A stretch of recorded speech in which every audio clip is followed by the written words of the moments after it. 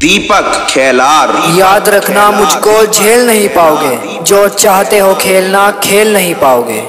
और मर्ज़ी है आपकी, कैसे भी आजमाओ। हाथ चलाओ, ज़ुबान मत चलाओ। और यहाँ बात दम की है। सिर्फ़ अकेला हूँ, मुझे हरा कर दिखाओ।